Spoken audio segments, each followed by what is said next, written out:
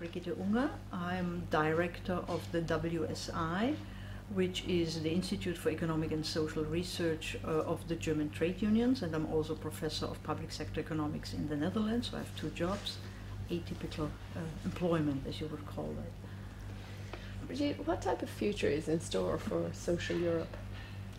Well, we have at the moment we are looking for a model of uh, a utopia for social Europe, and we have different uh, possibilities. Uh, at the moment, there is uh, one group who very strongly wants to go back to the nation state and basically uh, quit Europe, which is in Germany a very strong group.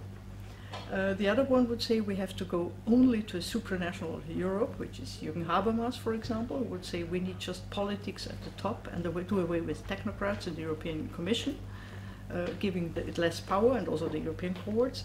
And then there is a model which I think I favor most, but it is not developed yet, which would say we should rely on self-regulation, on employers association, trade unions, uh, on the old, since the medieval guilds, existing institutions that Europe has.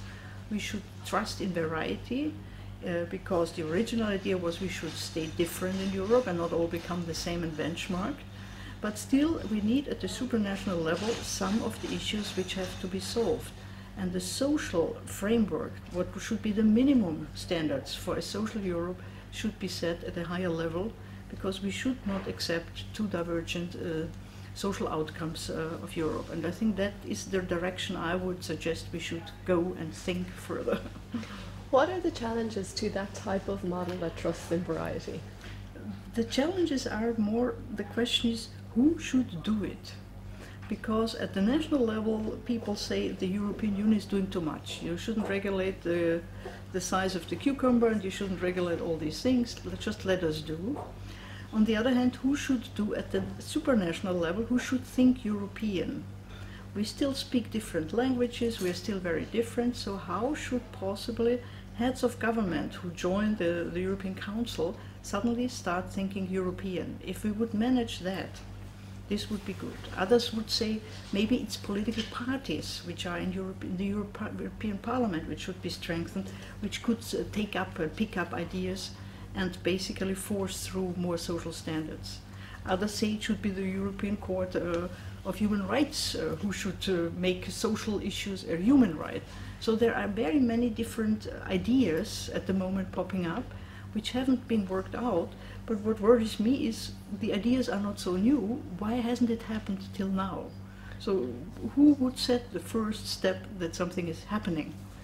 And why do you think it hasn't happened to now? Do you think there's some sort of ideological block on moving away from the limits of the debate as it is? Yeah, I think that the European Union goes in a one-side direction, which is competition above everything. And I think, especially after the financial crisis, people had expected, citizens had expected that now financial markets would be regulated. That was the biggest market failures we have had since 50 years. But nothing happened. And so what is now is that we are all waiting who is going to, to, to see the curiosity of the citizens. I mean, it's two-thirds of the European citizens who don't support it anymore. So there must be something which changes. But those who decide are not democratically elected. The technocrats of the European Commission are not elected, so we can also not vote them down. The, court, the, the judges of the European Court of Justice obviously are also not elected. So the people who decide do not react to the curiosity of uh, the citizens. And we must find a means, and it could be the European Parliament who could who should change to also be able to take initiatives, because at the moment they are not allowed to take the initiatives on their own, to basically force through social uh, topics. So we have not, the European architecture is not built uh, the way that the social issues could be introduced now easily. And the European Union should really take competition and cooperation at equal terms and not just say we do everything in competition. It's a wrong way.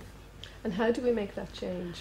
We must change that uh, very important groups in every country and also the heads of the government and also parliament raises these issues that the architecture of the European Union has to be changed soon.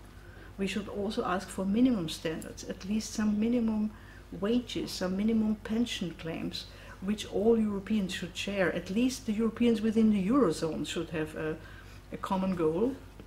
And these would be ways of starting it. But I'm an economist. This is political science you're asking me.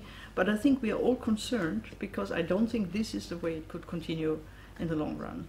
And economically, is it viable to do it this way, Brigitte? Economically, it's even better. We have seen that the best countries, which also uh, survived the crisis the best, were countries with corporatist regimes, which means with self regulatory regimes. And the fact that Ireland recovered quicker than other countries also shows that there are fundamental old institutions which somehow still work. It was the Danes, it was the Finns, it was the Austrians, it was the Germans which survived, or the Dutch which survived the crisis much better than countries which do not have these strong self-regulatory regimes. So countries which work with cooperation rather with com competing labor and capital each other survived the crisis much better. That's a very clear sign that cooperation is a value per se and is uh, in principle economically much more advisable than competition alone.